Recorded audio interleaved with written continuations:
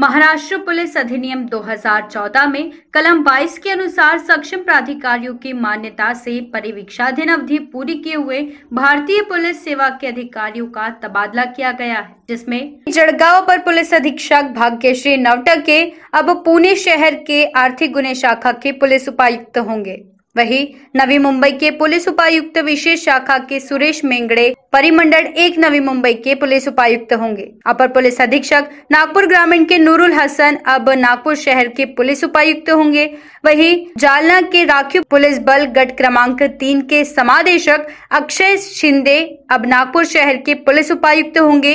अमरावती के राखी पुलिस बल गट क्रमांक नौ के समादेशक लोहित मतानी नागपुर शहर के पुलिस उपायुक्त के रूप में पदभार संभालेंगे। बदली आदेशाधीन बसवराज तेली नागपुर शहर के पुलिस उपायुक्त के रूप में बदली आदेशाधीन मंगेश शिंदे राज्य गुना अन्वेषण विभाग पुणे के पुलिस अधीक्षक के रूप में पदभार संभालेंगे। वहीं लोहमार्ग पुणे के पुलिस अधीक्षक दीपक साकोरे मानवीय अधिकार संरक्षण नागपुर के पुलिस अधीक्षक होंगे।